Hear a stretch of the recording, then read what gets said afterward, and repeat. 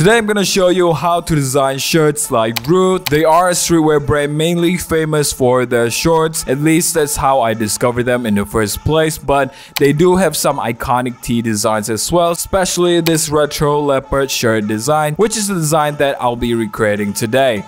Let's go.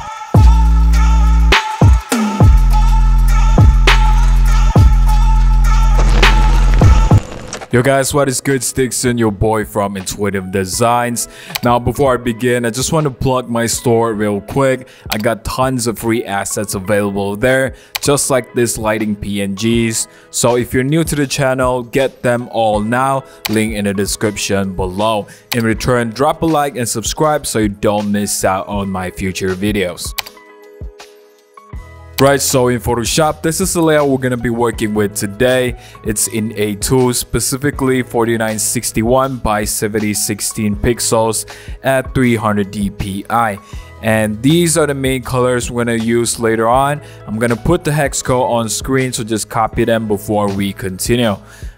Now I'm just gonna drag this up top so it doesn't get in the way. So I did some research and found out that the font they use for this design is actually Times New Roman. It's a very basic font but I guess if it works, it works right. Um, the designer did make them slightly bolder but we're not gonna do that since I figured people are more interested with the effects anyway. So we're gonna focus more on that. Now back in the working file, I'm gonna select the type tool by hitting T on your keyboard, uh, this one right here, and then make sure the font selected is Times New Roman, and then the size is 200, at least for now. And then I'm gonna click on the color picker here, and in the hex code bar, put in 80, 80, 80 to get that true gray color. And then just click on the file and type Rhude. And then command T on your keyboard to scale it up like so. Next, I'm going to group this type layer by hitting on command G and then I'm going to rename the group to effects. So the first effect we're going to add to the type layer is the bevel and emboss. So go ahead and apply that let me reset it to default and show you guys the step by step. Now zoom in a bit so that you guys can see better.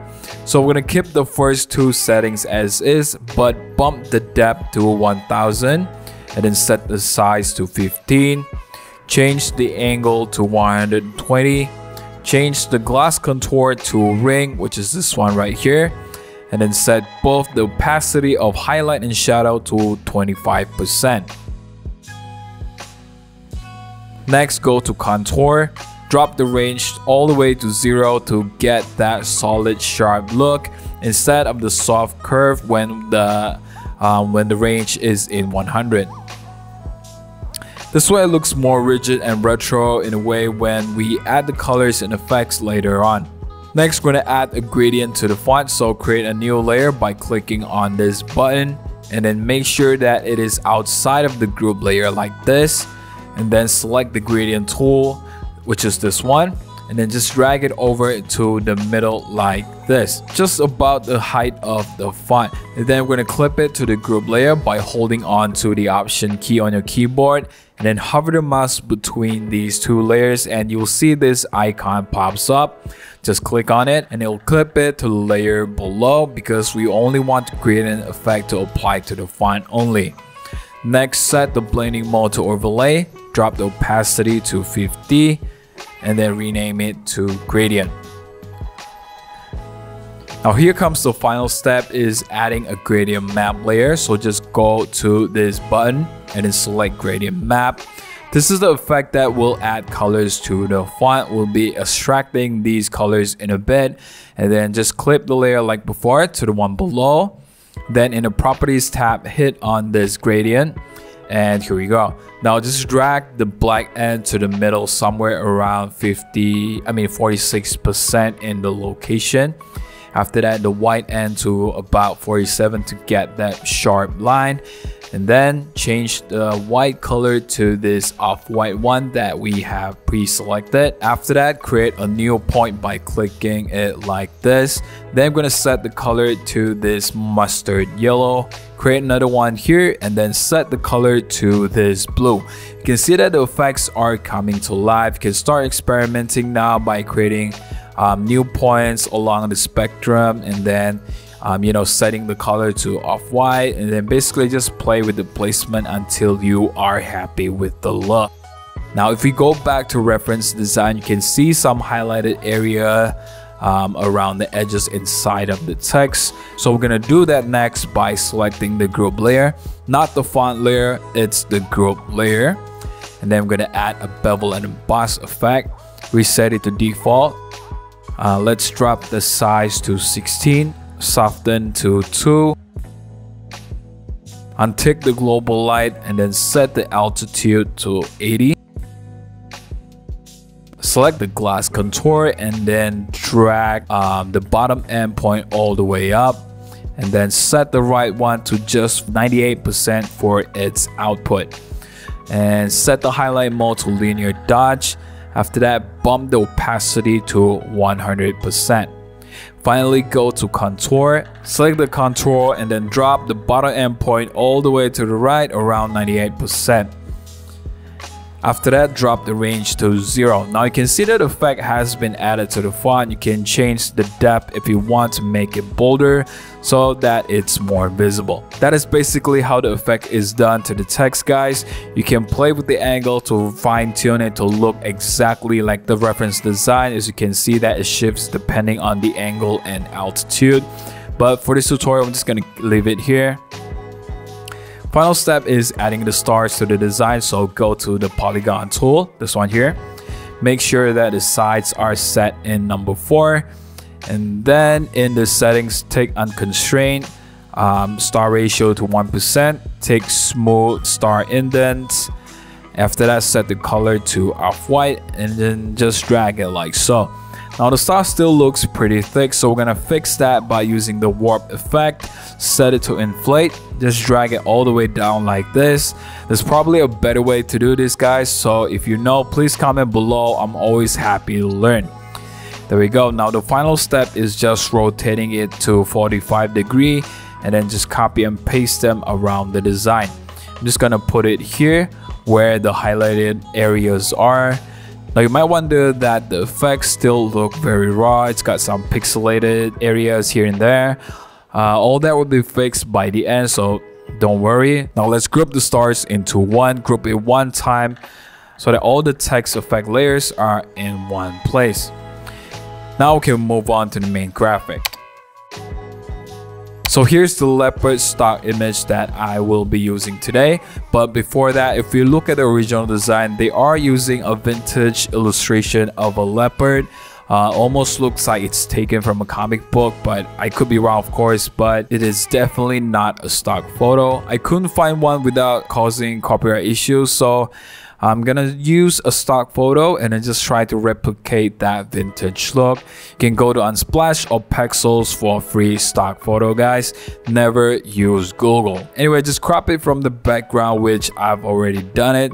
So I'm just gonna drag it to a working file. Let's rename it to Panther or Leopard. I'm not sure which one is the correct terminology.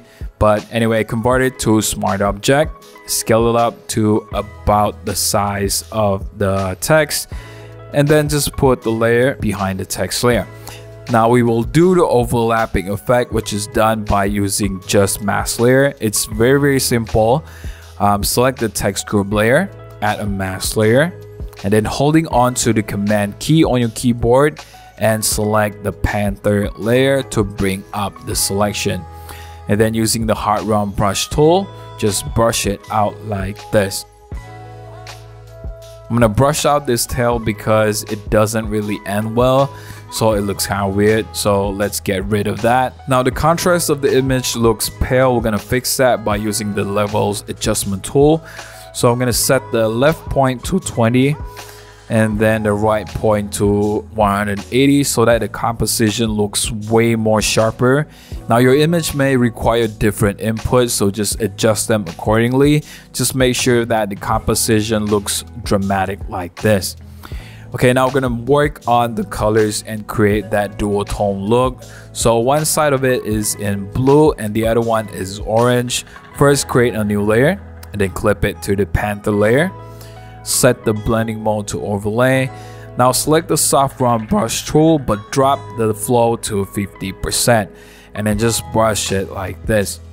Only on the right side of the panther now imagine like there's two light sources pointing at the panther, one side blue and the other orange. Now the left side of the ear is blue, just brush the rest of the body in blue as well. Uh, maybe add a tinge of orange here and there, especially on the back area. Now for the eyes, we're gonna select the yellow and then just go about like so. We're almost done now guys, but as you can see, the blue color looks too vibrant. We don't want that. We wanted to have that washed out um, shade like the one in the text. So we're gonna fix that by going to image, adjustments, and selective color. Now I'm gonna set the color to cyan and then just play around the settings until we get that vintage shade. This happens when you set the blending mode to overlay, it tends to blow up the vibrancy of your colors. So fine tune it this way is a great way to achieve the exact shade that you need. Now the reds, I'm pretty happy with this so far, so let's move on. Final step is adding filters to the Panther to create that comic illustrator look. Of course, it won't look as real, but I'm gonna try that anyway. So just go to filter, filter gallery. Uh, I'm gonna start out with dry brush filter under the artistic folder. Set it to zero to one and then add a new filter. This time I'm gonna select grain, set the type to clumped for that bigger grain aesthetic and then set the settings to 40 and 50. You can already see it looks painted now but we're not done yet. I'm gonna do it one more time but this time I'm gonna add one more filter that is the poster edges.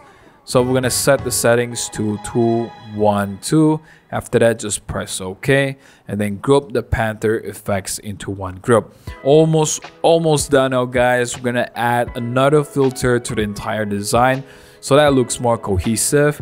So we're gonna option command E to merge the layers into one separate layer, not command E. Guys, it's option command E okay? And then just convert it to smart object. Go to filter gallery one more time. This time though we're only gonna use grain. Now this final step is optional. If you like the look of it now then you can skip this part. But to truly achieve that vintage look we're gonna add a matte effect to the shadows of the design by using the curves tool. So just drag the bottom left point to about uh, 24 the output and there we go. That is how we recreate that vintage Rhude design Hope you guys learned something new today guys. If you want more tutorials like this, please comment below. I'll keep making them. Like and subscribe to show some support. See you in the next one.